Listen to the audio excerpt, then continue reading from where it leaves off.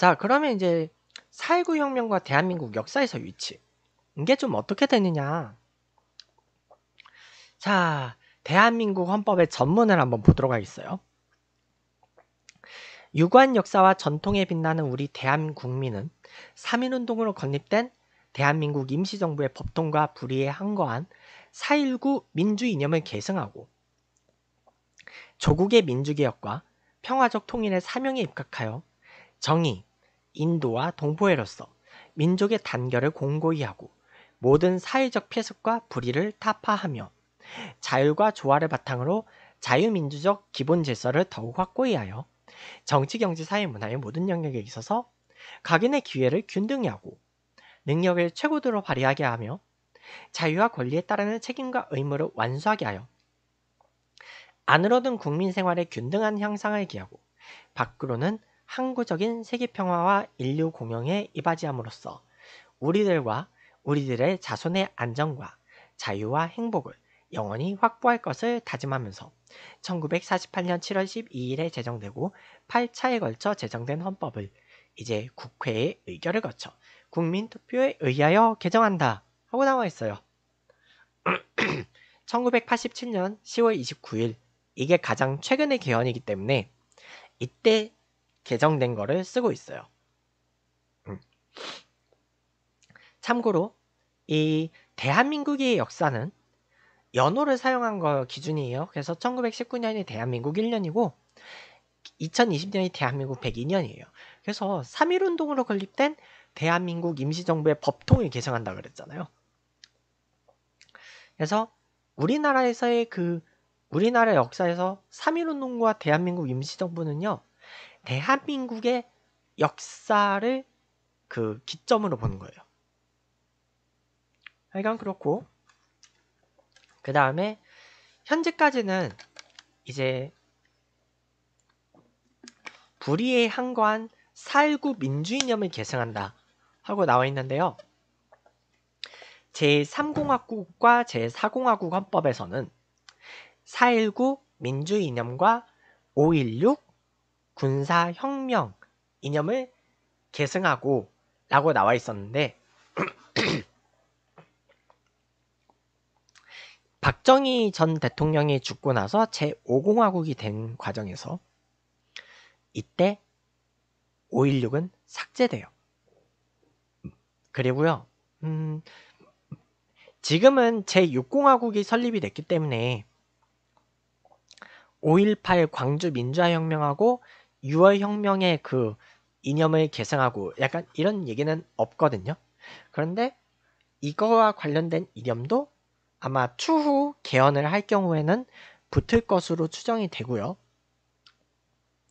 그리고 촛불혁명 같은 경우는 현재 우리의 정권이 그 촛불혁명을 인해서 들어선 정권이기 때문에 아직까지는 붙을 가능성이 적어요. 근데 이제 아마 만일 문재인 정권 때 개헌이 안 되고 이제 다음 대통령 정권에서 개헌이 될 경우에는 붙을 가능성이 있어요. 그렇고 자, 그 다음에 이제 대한민국 국민이 정치적으로 주권을 가지게 되었음을 국민에게 주권이 넘어갔음을 보여주는 거예요. 대한제국에서 대한민국으로 넘어갔다는 거예요. 근데 우리나라에서 시민혁명으로 정권이 교체된 거는 이때가 처음이에요. 5.18 혁명으로 정권이 교체된 게 정권이 교체가 못 됐죠. 5.18 때는. 그리고 6월 항쟁 때는요. 개헌을 유도하는 데는 성공을 해요. 개헌을 유도하는 데는 성공을 했지만 이때 개헌 발표한 게 이제 민주정의당 대통령 후보였던 노태우 여당 후보였죠. 그런데 개헌 후 새로운 대통령을 실시한 것까지는 좋았어요. 그런데 문제는 여당 후보였던 노태우 씨가 당선이 됐어요. 그래서 이 시, 6월 항쟁 때는 시민혁명으로 개헌까지는 했는데 정권 교체를 못했어요. 그렇고 그 다음에 이제 2016년 10월부터 2017년 3월까지 있었던 촛불혁명 이 촛불혁명으로는 박근혜 씨를 대통령에서 파면하는 데 성공했죠. 대통령에서 쫓아냈죠. 아예.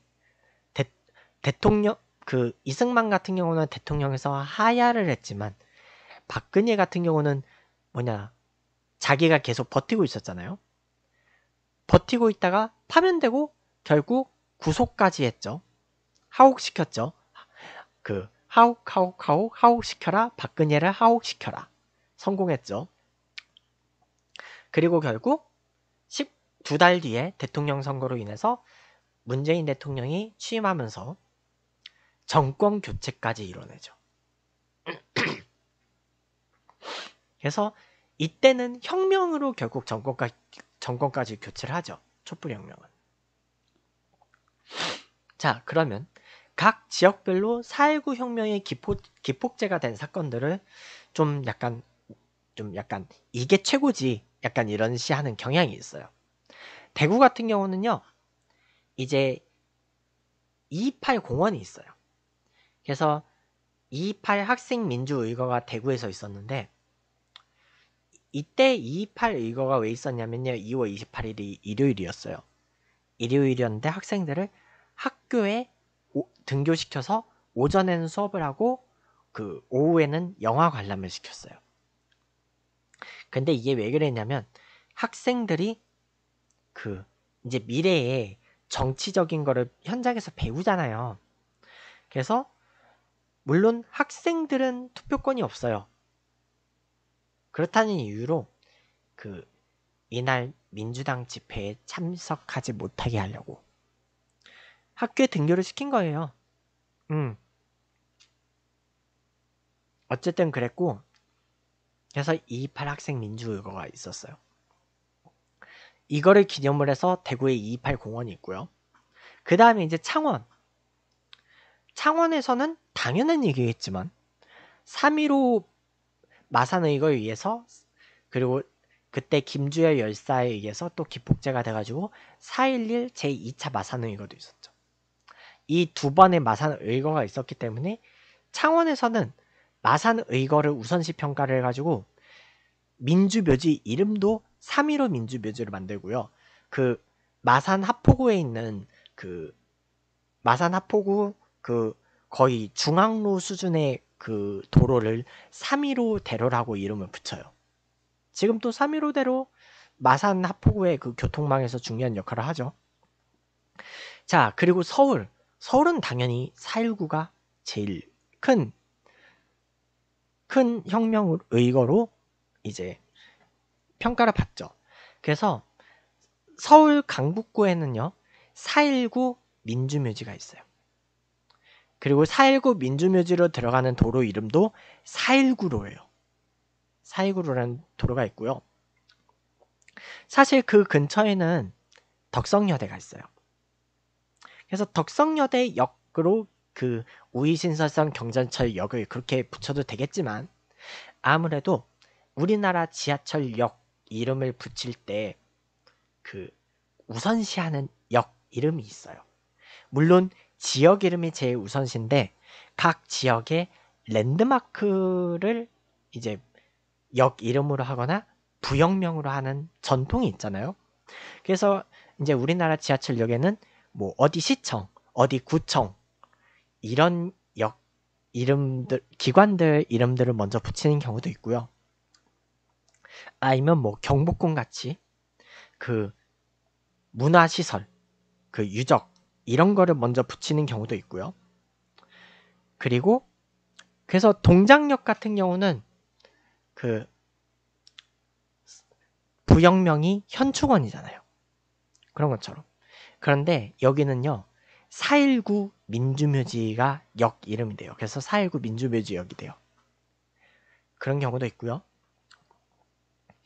그래서 이제 419 민주묘지가 있는 강북구 강북구는요. 그, 그 구, 강북구의 문화재를요, 4.19 혁명 국민 문화재를 해요. 2013년부터 하는데, 이번에 2020년은, 네, 코로나19 시국이라서 못했어요. 음. 어쨌든 뭐 그렇다고 해요. 자, 그 다음에 이제 4.19 관련 이모저모. MBC 경남 예전에 이제 마산 MBC인데 여기가 이제 MBC 경남으로 바뀌면서 4.19 혁명 특집 드라마로 누나의 3월이라는 드라마를 만들어요. 그리고 아무래도 이제 이문열 씨가 썼던 소설 중에 우리들의 일그러진 영웅이라고 있죠. 저도 읽어봤어요. 이거는 시대의 흐름만 언급돼요. 그리고 SBS의 대하 드라마 이제 야인시대 121회에서 4.19 혁명이 나오죠. 그리고 MBC 제2공화국이라는 드라마가 있고, 요 MBC는 공화국 드라마 시리즈가 있어요. 그 다음에 조정래 씨가 쓴 소설 한강의 1권의 이 4.19가 나와요. 그리고 윤석혁 씨의 소설 4.19 혁명이 있고요. 자, 그 다음에 아까 그 이승만 전 대통령하고 직접 대면했던 시민대표 6명 있다 그랬잖아요. 그 6명 중에 한 명이 설민석 씨의 아빠인 설송웅 전 의원이에요. 설송웅 전 의원이고 1942년 8월 10일생이었고 당시에 당시에 학생이었어요. 그, 렇고 그래서 이분은요. 그 4.19 혁명이 자기의 인생의 가장 컷 그 보람찼던 일이라고 생각을 하셔가지고 지금도 전화번호의 맨 뒷자리가 0419래요. 뭐 정확한 전화번호는 저도 모르니까 이거는 이제 그 지금은 뭐냐 한국사 강사로 이름을 날리고 있는 선민석 씨가 증언을 하는 얘기니까 이거는 팩트죠. 그래서 이 설송웅 씨는요, 그 이때 4.19 때 이승만 전 대통령하고 면담했던 그 시민 대표로서의 자기 그 자부심이 자기 인생의 그, 그 길이어서 그런 건지 모르겠는데 그 이후에 정치를 해요. 그래서 1995년 제1회 전국 동시 지방선거로 민선 초대 용산구청장을 역임하고요.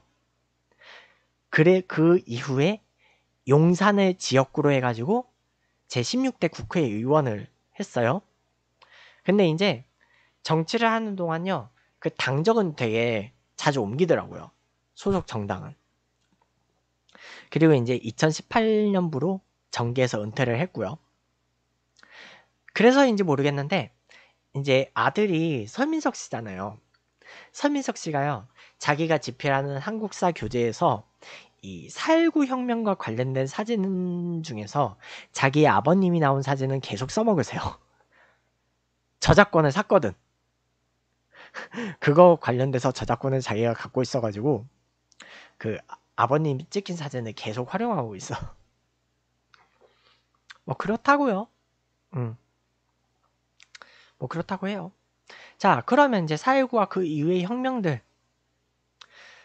민주당은 집권 정당을 해서 다수 의석을 차지했음에도 불구하고 내부 대립으로 인해서 결국 나라 제대로 수습을 못하죠.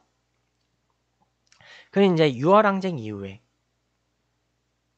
이제 당시에 삼김이 야당이잖아요. 그 신민당 총재였던 김영삼 전 대통령 그리고 그 다음에 이제 5.18 당시에 그 옥중 투쟁을 했던 김대중 전 대통령 그리고 박정희 정권 때 국무총리를 했던 김종필 전 총리 이 사람이 단일화를 못해요.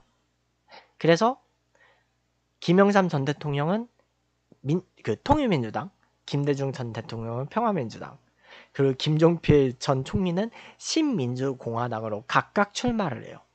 삼김이 분열을 하는 바람에 정권 교체를 못한 거야. 그 다음에 이제 촛불혁명. 자, 촛불혁명 때는 집권 정당이었던 새누리당이 결국 분열을 하게 되죠. 촛불혁명으로 인해서 대통령이 탄, 탄핵되면서 그 새누리당이 분열됐고 그래서 일단은 메이저 부류는 자유, 자유한국당으로 갔고 주류는 비주류가 바른정당으로 가죠. 그리고 이제 그 조원진 씨 같이 새로운 새누리당을 만든 그런 당도 있어요. 2018 새누리당. 그렇고 그 다음에 사실 그때는 저도 이제 고정 지지 정당이 없잖아요. 그런 중도층들이 그 6월 항쟁 때와는 다르게 그 선택의 결집을 시켜요.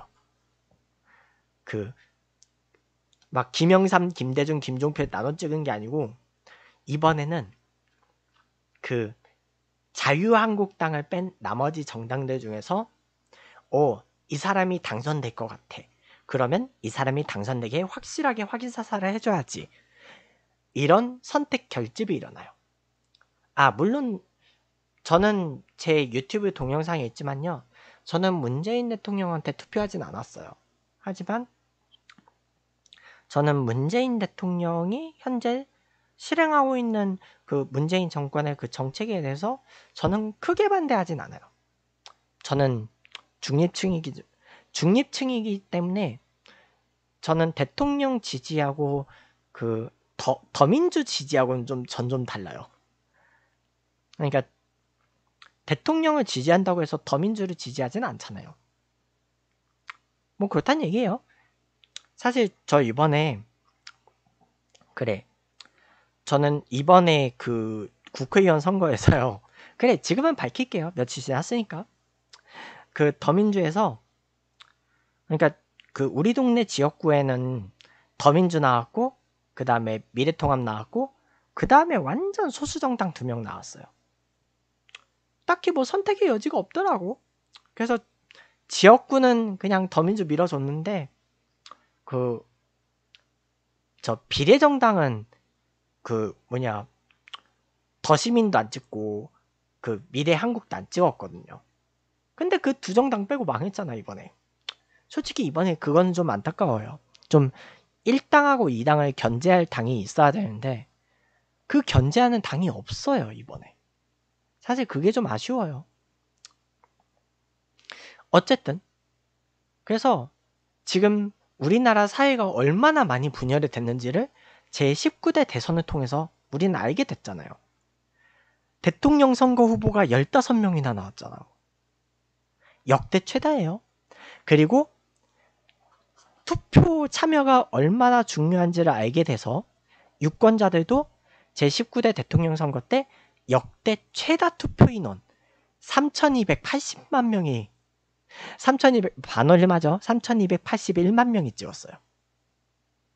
그리고 그 중 이번에는 그 평소에는 고정 지지 정당이 없었던 중도층이 지난번 대선 때는 이거 정권 교체를 위해서 그 최다 의석을 가지고 있는 당을 압도적으로 몰아서 찍어줬죠.